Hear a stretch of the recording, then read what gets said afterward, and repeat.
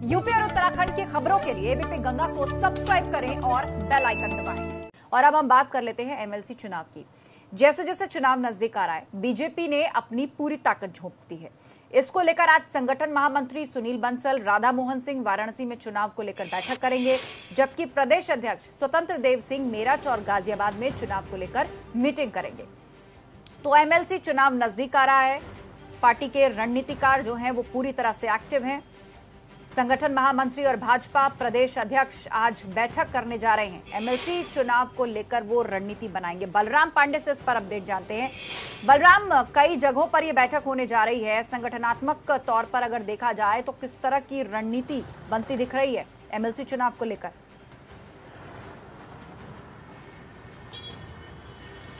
देखिए, आस्था भारतीय जनता पार्टी एक ऐसी पार्टी हो, चाहे कोई भी चुनाव हो वो सभी चुनावों को बड़ी गंभीरता से लेती है। अभी उपचुनाव रहा बड़ी बड़ी पार्टियाँ, जो नेशनल पार्टियाँ रही, उनके शीर्ष के जो नेता थे, वो चुनाव प्रचार में नहीं गए। लेकिन भारतीय जनता पार्टी ने उपचुनाव में भी पूरे दमखम से चुनाव लड़ा और चुनाव प्रचार किया। यहाँ तक कि मुख्यमंत्री खुद जनसभाओं में गए और वहाँ पर जाकर के जनता से अपील की। और यही वजह है कि जो संगठनात्मक पार्टी बीजेपी है और वो जन जन तक जाती है, लोगों से अपील करती है और हर चुनाव में बढ़ चढ़ कर हिस्सा लेती है। और यही वजह है कि चाहे जिला पंचायत का चुनाव हो, चाहे लोकसभा का चुनाव हो, बीजेपी किसी भी चुनाव को हल्के में नहीं लेती है। और यही वजह है कि पहली बार एमएलसी शिक्षक सीट पर भी बीजेपी ने अपनी ताल ठोकी है।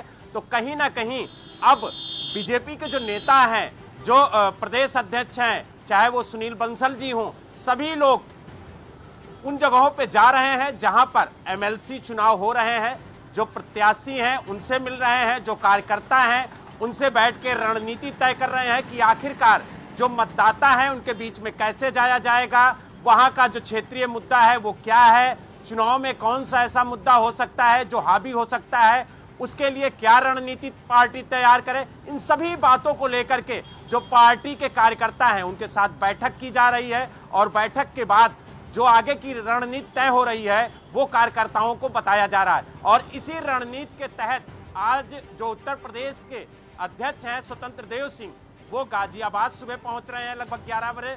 और उसके बाद वहाँ पर वो कार्यकर्ताओं से बैठक करने के बाद वो लगभग चार बजे मेरठ के क्षेत्रीय कार्यालय में पहुँचेंगे और वहाँ से जो कार्यकर्ता आए हुए होंगे उनसे बातचीत करेंगे उनसे बैठक करेंगे और जानेंगे कि आखिरकार एमएलसी चुनाव में कौन से ऐसे मुद्दे हैं जिनको लेकर के मतदाता सबसे ज़्यादा जागरूक है और उन मुद्दों को हाँ।